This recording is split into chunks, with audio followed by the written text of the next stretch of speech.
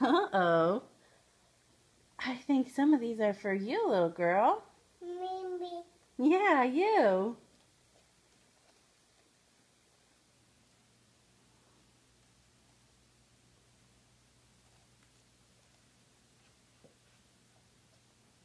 What are you looking for?